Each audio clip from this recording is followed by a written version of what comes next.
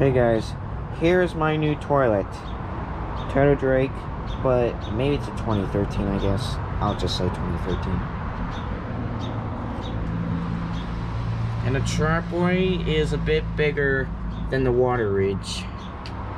Okay, let's give it a flush. Let's give it a flush.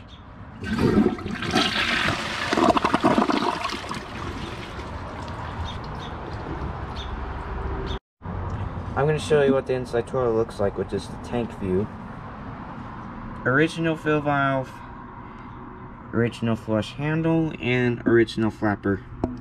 Like and subscribe, comment and subscribe. It's a nice flush.